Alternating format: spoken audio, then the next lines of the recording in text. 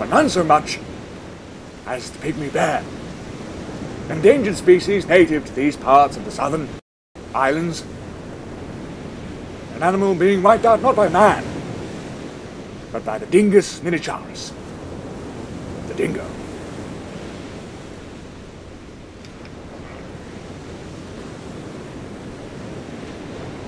The native pygmy dingo is very rare and beautiful creature. Traditionally, they feast on the bear, who dwells within caves of these rocks.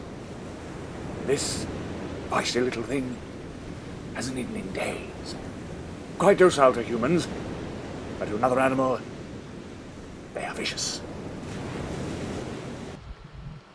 These natural rock formations, carved by the crashing waves of the sea, provide a safe haven for the Octostegium minicharis.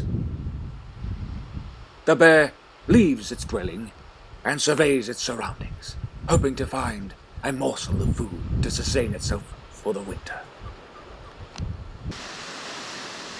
She surveys her surroundings, unaware of the danger that lurks near.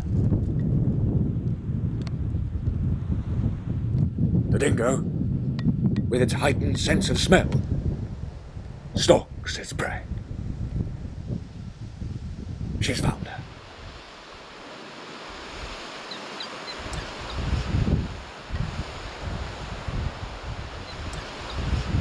She licks her lips in anticipation of the kill.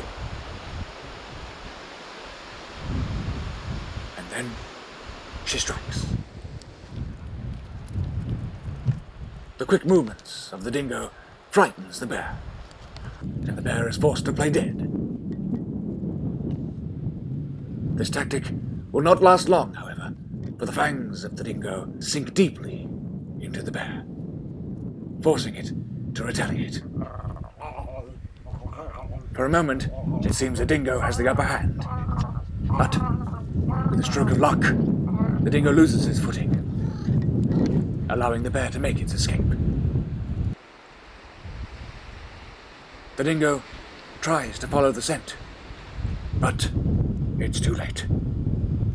The bear retreats back into its shelter to live and fight another day.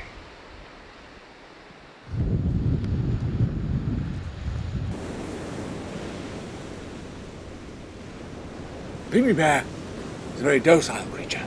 Very narrow vision, can't see me where I am right now. But if we were to startle it, would proceed to urinate on my face and eat it.